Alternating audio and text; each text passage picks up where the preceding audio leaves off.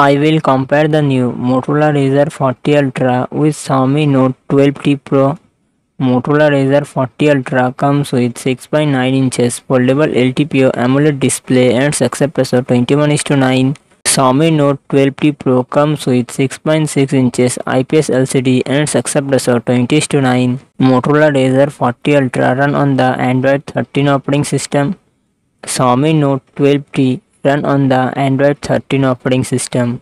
Motorola Razr 40 Ultra it comes with 8GB 12GB RAM and 256GB 512GB internal storage Qualcomm Snapdragon 8 Gen 1 processor and GPU Adreno 730 Xiaomi Note 12T Pro it comes with 8GB 12GB RAM and 128GB 256GB 512GB internal storage Qualcomm Snap MediaTek Dimensity 8200 Max processor and GPU Mali G610 Motorola Razr 40 Ultra real set dual camera setup 12 megapixel plus 13 megapixel and front camera 32 megapixel Xiaomi Note 12T Pro real set triple camera setup 64 megapixel plus 8 megapixel plus 2 megapixel and front camera 16 megapixel Motorola Razr 40 Ultra 3800 mAh battery 30 watt fast charging support. Xiaomi 12T Pro 5800 mAh battery 27 watt fast charging support